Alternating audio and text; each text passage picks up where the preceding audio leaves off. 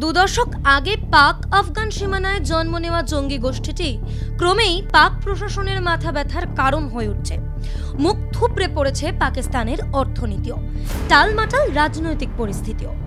এই অবস্থায় তাদের উদ্দেশ্যে আক্রমণ শানাতে দেখা গেল পাক তালিবানকে।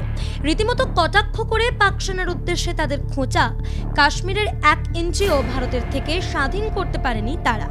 কেবল নিজের দেশের মানুষের উপর জুলুম করার ক্ষমতাই রয়েছে তাদের। টিটিপির প্রোপাগান্ডা সেলের টিটিপি উমার মিডিয়ার তরফে পেশ করা বিবৃতিতে এভাবেই কটাক্ষ করা হয়েছে পাক সেনাকে।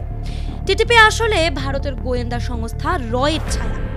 পাকিস্তানের এমন দাবিকেও নস্বাত করে দিয়েছে পাক তালিবান।